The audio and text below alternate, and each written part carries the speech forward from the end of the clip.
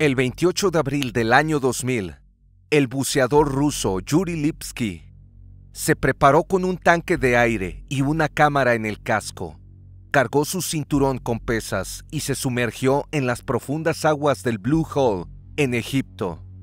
Descendía confiado, quizá demasiado, pues estaba seguro de que podía lograr el desafío de cada buzo que llegaba al Blue Hole, descender, llegar hasta el arco, cruzar y disfrutar los 30 metros de belleza de ese pasaje antes de retornar a la superficie. Lamentablemente, una serie de situaciones ocurrieron a lo largo del descenso, y Yuri no fue consciente de ello, sino hasta que ya era demasiado tarde, pues nunca retornó a la superficie. ¿Qué fue lo que sucedió allí abajo? Asombro. Turismo de buceo en el Blue Hole, Egipto. Yuri Lipsky era un instructor de buceo israelí de origen ruso que se encontraba de vacaciones en Egipto. Tenía 24 años, era educado, ambicioso y tenía muy claro en lo que quería convertirse, un instructor de buzo experimentado. Durante su estancia en Egipto, había algo que quería hacer antes de abandonar el país visitar el famoso arco de Blue Hole o agujero azul, así que acudió a Tarek Omar, uno de los mejores buceadores de aguas profundas del mundo.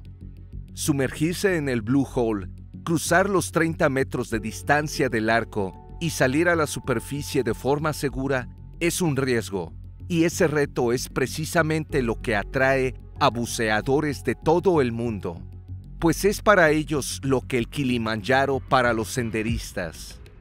The Elder Drive o Buzo Mayor, como también lo llaman a Tarek Omar, conocía perfectamente el área y ya acumulaba un gran número de inmersiones en dicho lugar, ya que era algo que venían haciendo desde hace 20 años. Incluso obtuvo un título en una oportunidad, luego de una inmersión récord de 209 metros. Yuri sabía que Tarek Omar era una autoridad en el tema y que podía ayudarlo a cruzar el arco del Blue Hole. Por eso fue a hablar con él, a fin de que lo preparara para la inmersión. Pero había un problema, el tiempo. A Yuri solo le quedaban dos días de estadía en Egipto, y Tarek había sido muy claro con él. Necesitaba al menos una semana de entrenamiento, el equipo necesario y descender con un guía local experimentado para cumplir con todas las condiciones de seguridad.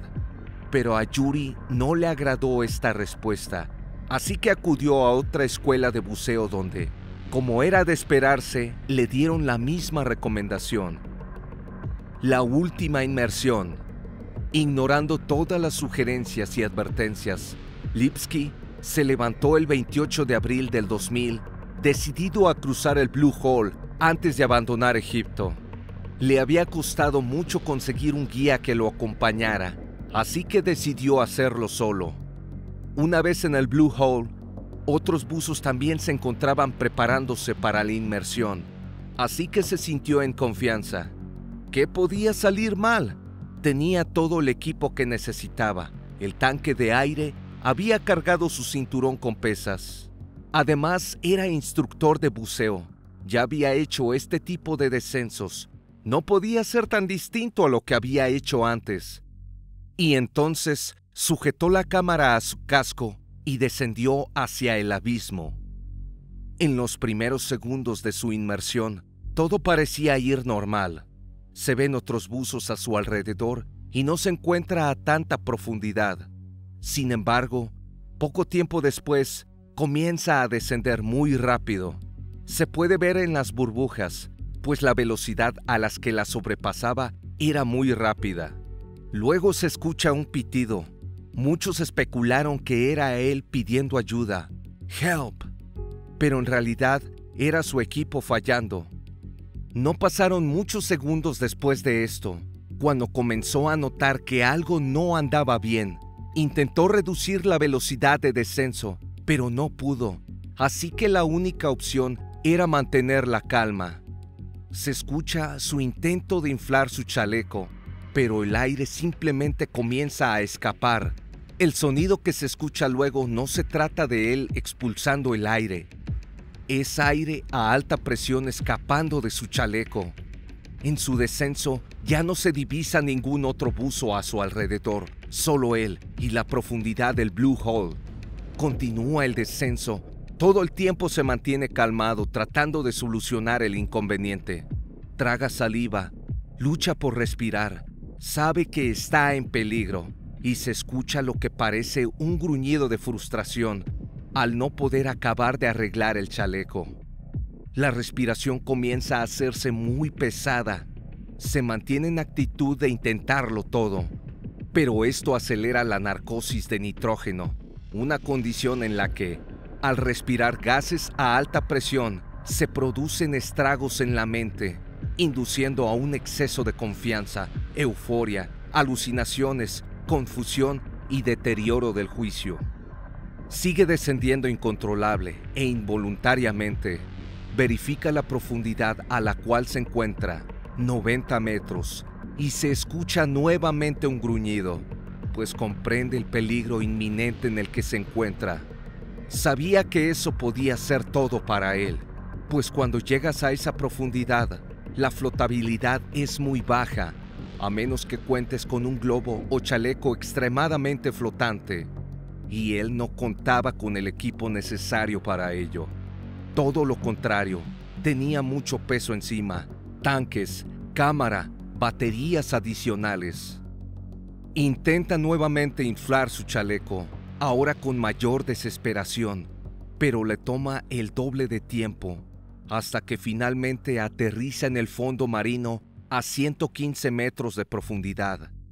Es demasiado entra en pánico, se quita el regulador y vuelve a intentar llenar el compensador de flotabilidad en una lucha instintiva por su vida, pero de ninguna manera puede elevarse y es víctima de la narcosis de hidrógeno. Lo siguiente que se puede ver son nubes de arena levantadas una vez que la frecuencia respiratoria de Yuri se duplica, hasta que al final se quita el aparato de respiración de la boca y todo se detiene. Sus últimos minutos de vida. El cuerpo de Yuri fue recuperado al día siguiente por Tarek Omar, a petición de sus desesperados padres, e hizo un descubrimiento desconcertante. Halló la cámara que Lipsky llevaba en su casco y asombrosamente aún estaba intacta, según contó Tarek Omar tiempo después. La cámara debería haber estado dañada o incluso rota por completo, porque la encontré a una profundidad de 115 metros y está diseñada para soportar una profundidad de 75 metros. Pero para mi sorpresa seguía funcionando. La revisamos y su madre estaba allí en ese momento. Es lo que más lamento. Que haya tenido que ver las imágenes de su propio hijo ahogándose. Si lo hubiera sabido antes, habría destruido la cámara. Los momentos finales de Yuri Lipsky quedaron registrados por él mismo, y aunque su rostro nunca es visible, su angustia es palpable e inquietante. Las lamentables imágenes han sido motivo de análisis y especulaciones por parte de instructores de buceo, buceadores y no buceadores de todo el mundo, a fin de entender el porqué de lo ocurrido y cómo evitar que se repita. Sin embargo, después de Yuri, muchos otros buzos han perdido sus vidas en el Blue Hole y en el sitio sus familiares han colocado placas conmemorativas en su nombre. Se estima que 130 personas han muerto intentando cruzar el arco del agujero azul de Dahab, considerado el sitio de buceo más peligroso del mundo y por ello apodado el cementerio de buzos. Y es que el trayecto hacia el famoso arco puede llegar a ser desorientador, ya que muchos ven la luz saliendo del túnel y al creer que se trata de la superficie, nadan hacia ella, para luego darse cuenta, algunos muy tarde, que se dirigían directo a las profundidades. Sin embargo, muchos expertos, incluido Tarek Omar, aseguran que la reputación del Blue Hole es inmerecida, pues no es tan peligroso como se dice. Solo es necesario que los buzos hagan su tarea y cumplan con las medidas de precaución. Y bien, esta historia nos demuestra que la prudencia es el conocimiento de las cosas que deben buscarse y las que deben evitarse. Cuéntanos qué piensas sobre la historia de Yuri Lipsky. ¿Ya la conocías? Si te ha parecido útil, regálanos tu like y comparte en tus redes sociales para que otros también aprendan de ella. Si tienes en mente alguna otra historia que te gustaría ver en futuras entregas, háznoslo saber, porque si a ti te asombra, a nosotros también.